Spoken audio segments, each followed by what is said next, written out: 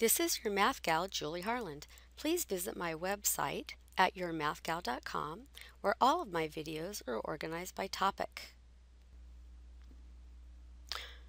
Alright, we're going to draw the angle in standard form, drop perpendiculars to form a triangle or list in order pair the angle passes through, as well as R, and then we're going to state the exact value. So here's our first problem, secant of 90 degrees. So the first thing is to draw the angle in standard form. So in standard form we have the xy plane here. And we start with the x-axis and we're going to go up all the way. It's going to end up on the y-axis here.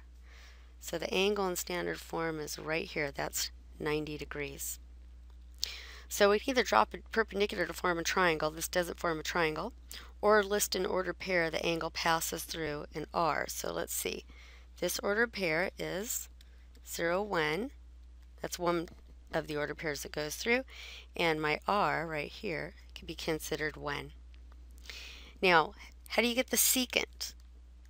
So the secant is, is defined to be, remember, if we have some angle in general, and we have it on the xy plane here, we've got the secant is the reciprocal of the cosine. So cosine's x over r, so secant is r over x. So in this case, r is 1 and x is 0. Okay, but that's undefined. So we don't actually write that it's equal to this. We would say it's undefined. Alright, so that's how we would figure out it's undefined, but that's why.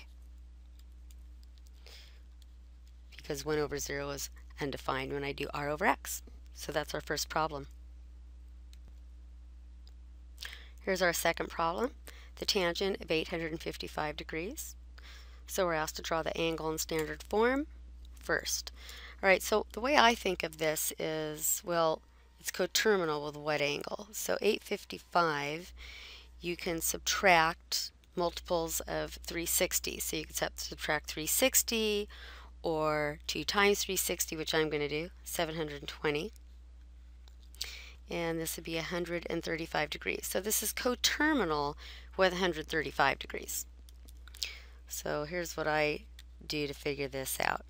I know that the terminal side of the angle is over here at 135, so it's going to be here. It's sort of like the 45 degree angle. But to draw my angle, it has to go around 360, another 360, and that extra 135 degrees. So that is the actual angle, 855 degrees. Now what we could do is recognize this is the 45 degree angle here and drop perpendiculars.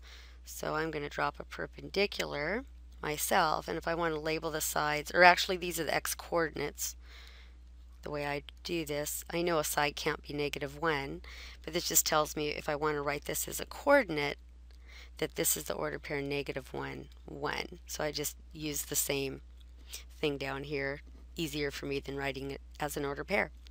And so how do we get the tangent? So the tangent is defined to be the y over the x. So in this case, We've got the y is 1, the x is negative 1. And so let's see, a positive divided by a negative is negative, and 1 divided by 1 is 1. So the tangent is the tangent of 855 degrees is negative 1. Here's our next problem, the cosine of negative 5 pi over 4.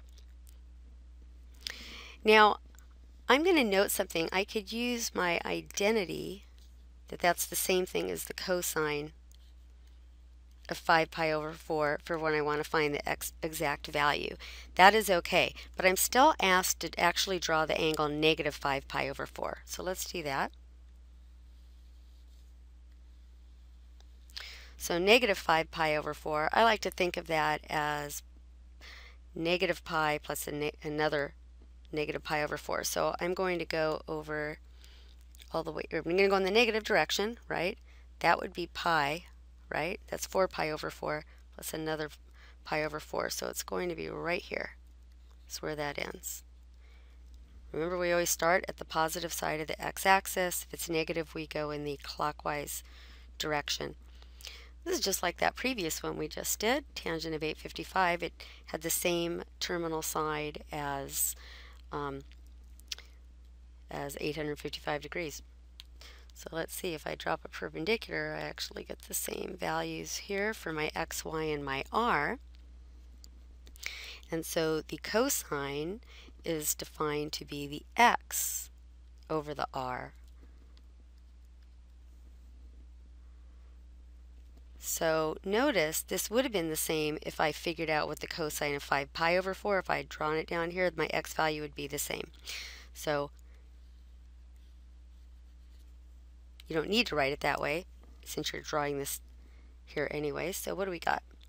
We've got the x value, negative 1 over r, which is square root of 2. And then if you just rationalize the denominator, all right, you have a negative, so it's a negative, and then we've got square root of 2 over 2,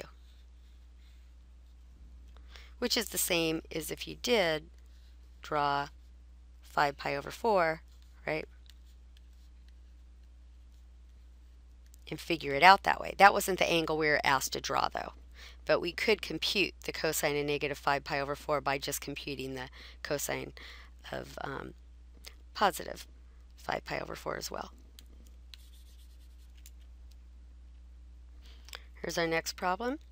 Cosecant of 7 pi over 6.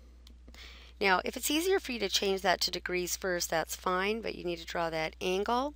So 7 pi over 6 ends up right here. That's pi plus another pi over 6.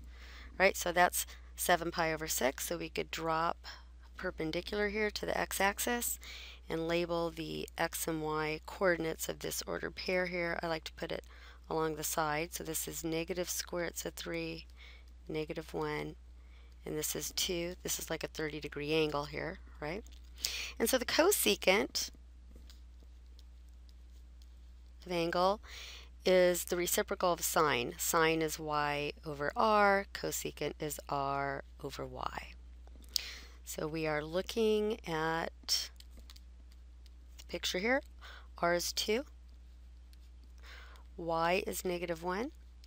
So positive divided by a negative is a negative. 2 divided by 1 is 2. And that is the cosecant of 7 pi over 6. All right, next problem. Tangent of negative 3 pi over 2 to here. Sorry. Okay, so in this case, we could just look at a point on the y-axis. We can't really draw a triangle here. And that's the point 0, 1. And the tangent is defined to be the y over the x. And by the way, r is 1 in this case. So y over x would be 1 over 0, which is undefined. So we would say this is undefined.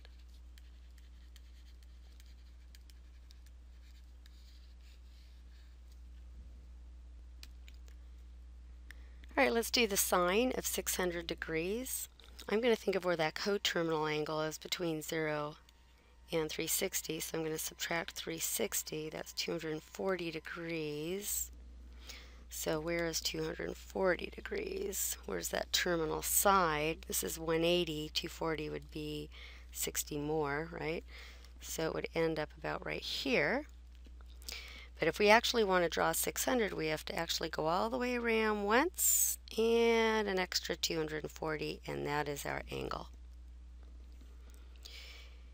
And then we could draw the perpendicular here. This is like a, a uh, 30, 60, 90 triangle where the y value is at negative 1.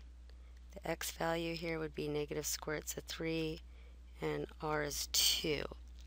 So the sine, and remember this negative 1 and negative square roots of 3, that just means that's the coordinates of this ordered pair, negative 1, negative root 3.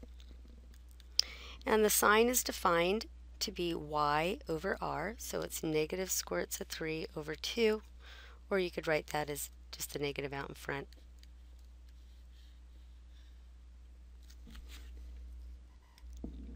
This is your Math Gal, Julie Harland.